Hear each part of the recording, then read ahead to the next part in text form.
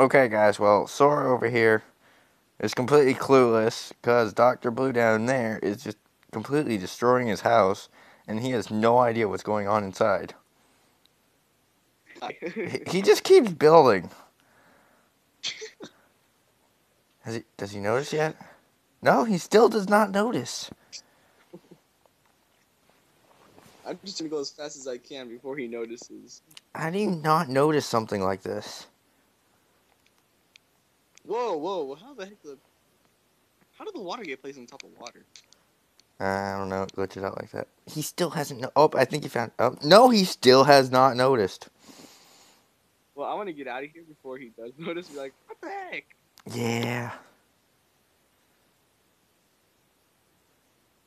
Well, is he ever gonna find out? Wait, does he notice? Dang, that wood's still burning.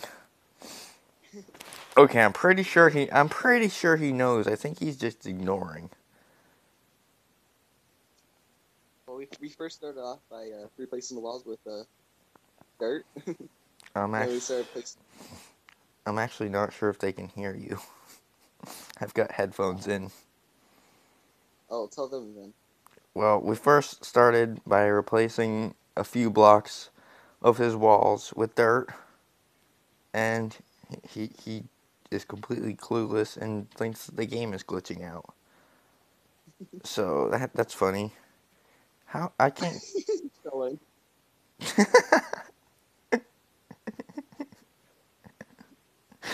Oh man. How is he gonna fix this? Is the question. I don't think there is a way to fix it. I'm gonna ask him what happened. Doctor Blue, that's what happened.